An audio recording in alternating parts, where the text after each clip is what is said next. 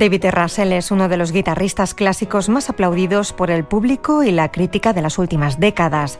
Reconocido por su visión del repertorio clásico, por sus transcripciones del legado barroco y también por su compromiso con el estreno de nuevas creaciones para la guitarra cada uno tenemos que buscar nuestro propio repertorio, aparte de encontrar obras nuevas, hacer transcripciones, pero también encontrar obras, digamos, que escriban, inspirar a los compositores, Mm, colaborar si puede ser, etcétera, y, conseguir que ellos escriban unas obras a, nuestro, digamos, para nuestros conciertos. Yo tengo suerte de conocer a muchos compositores y me han escrito muchas obras muy buenas. Lo que pasa es que mm, llevo años queriendo grabarlas y por fin, pues este año la compañía les ha gustado la idea y entonces mm, grabé unas obras, bueno, dedicadas a mí, digamos. Y, era, tengo un sentido de deber también hacia los compositores, ya que ellos hacen mucho esfuerzo y a veces no reciben el reconocimiento debido. Nosotros al menos salimos al escenario y la gente nos aplaude, pero ellos su, ah, digamos, su, su reconocimiento es mm, menos inmediato.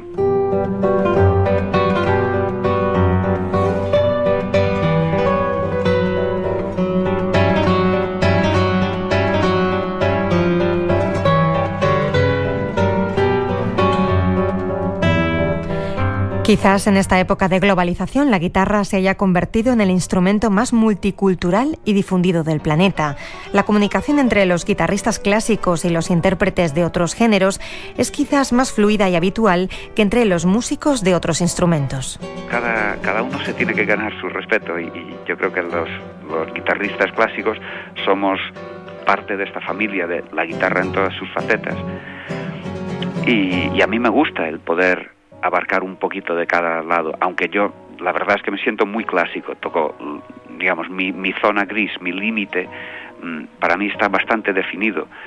Hay otros que tocan flamenco, tocan jazz y pasan de lo clásico a, a otras formas de música con mucha facilidad yo bueno me acerco a lo sudamericano y un poquito a la música celta y un poquito pero no tanto como algunos pero cada uno pone su pone su su frontera, digamos.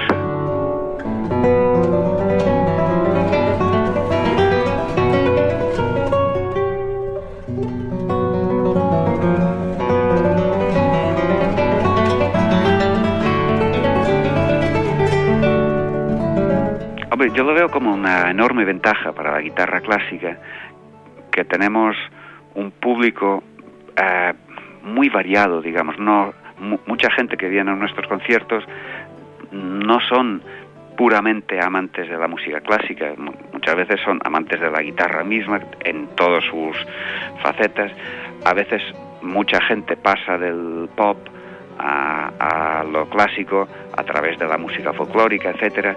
Mm, es decir, que nuestro público es muy amplio y, hay todas edades, etcétera. Entonces, yo, yo lo veo como una ventaja y, y para nada una desventaja.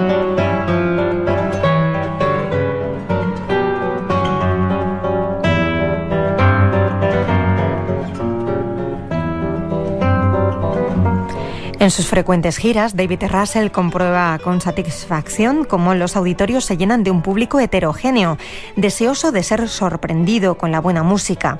En este sentido, encuentra que la guitarra es uno de los instrumentos clásicos que gozan de mejor salud actualmente.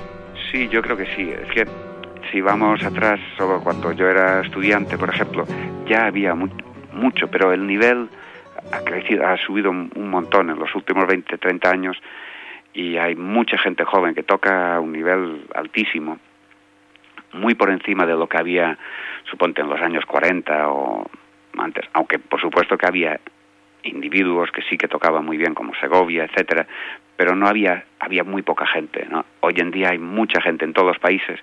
Eh, yo acabo de, llegar de Finlandia y Alemania y Italia y oigo jóvenes, pero de, de nivel altísimo, ¿no?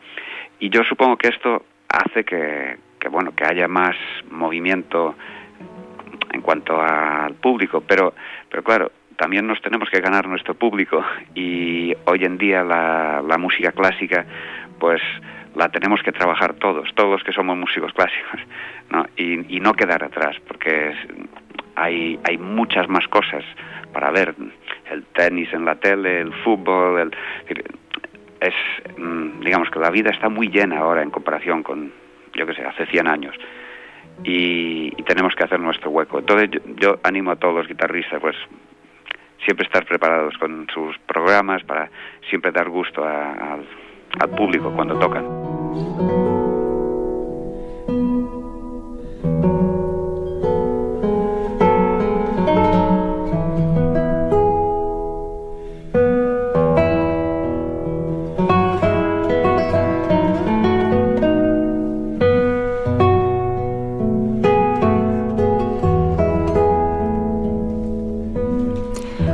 Fraseo sugestivo, atención al detalle, empatía innata para comunicar el sentido de cada obra. Estas son algunas de las observaciones que los críticos apuntan sobre el buen hacer de David Russell. En su palmarés figuran premios de concursos internacionales como el Francisco Tárrega, el Andrés Segovia o el Julian Bean de la Royal Academy of Music de Londres. Ganador de un premio Grammy por su álbum Aire Latino al mejor solista instrumental en música clásica, Russell cuenta también con un auditorio que lleva su nombre en la ciudad de Vigo. Muchos estudiantes de la guitarra acuden a Russell en busca de consejo. Mm, secretos hay, hay muchos pequeños secretos, no hay ninguno grande. Igual que como atajos, hay muchos pequeños atajos, pero mm, al final eh, el que de verdad quiere tocar a buen nivel tiene que trabajar, tiene que estudiar y no vale la pena estudiar mucho el sábado y domingo y no tocar la guitarra hasta el siguiente sábado, es decir, tiene que ser muy constante. En este sentido, yo lo veo casi como, como un deportista, que quiere ser un deportista de élite, hay que entrenar. Es que por muy superdotado que uno pueda ser, si no se entrena estos dotes, si no se entrenan, pues no, no florecen.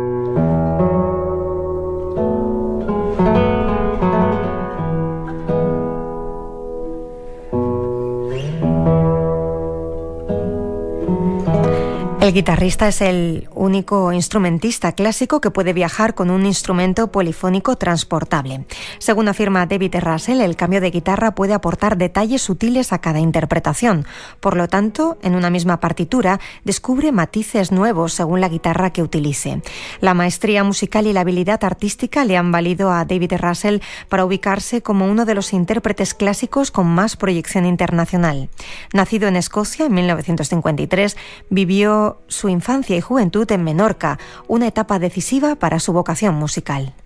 Sí, claro. En, Menorca todos los chavales tocaban un poquito, decir, cuatro acordes, lo que sea. Mi padre es amateur, guitarrista amateur, pero en, mi pueblo, en Esmillorn, es un pueblo pequeño en, en el centro de la isla, allí pues había la gente mayor que tocaban mucho más que nosotros y pues yo aprendí de allí. Y la verdad es que en, España siempre la guitarra y el folclore ha sido una riqueza muy viva. Si vas a otros países, muchas veces el, folclore antiguo quedó cortado por la música rock, digamos, o la música electrónica o pop o lo que sea. Y en cierto modo yo viví una época muy bonita en los años 60 en, Menorca, que fue cuando, cuando de verdad decidí que quería ser músico. Y entonces, por supuesto que tiene, tuvo influencia en mi, en mi desarrollo.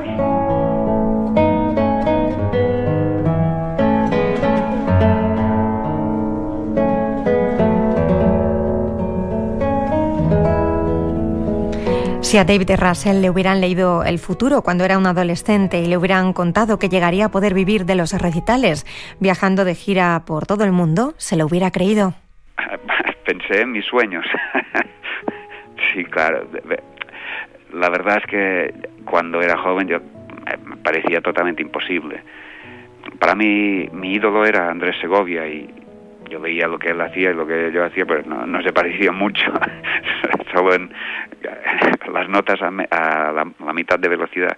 Pero bueno, con el tiempo, cuando ya tenía 22 años y las cosas empezaron a ir bien, entonces sí que empecé a, a, a ver que, bueno, que más o menos no pensaba que llegaría a vivir solo todos los conciertos, pero de dar clase y tocar algún concierto, pues yo pensé que bueno, pues vamos a seguir así. Pero bueno, ahora ya, bueno, pues mi, mi deseo pues se ha hecho realidad.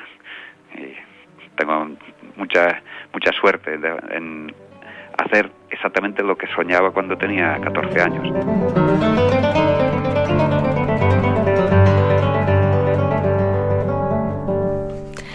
La guitarra de David Russell es el resultado del talento, el trabajo, la disciplina, el esfuerzo y la empatía con el público. Como él mismo afirma, el guitarrista de seducir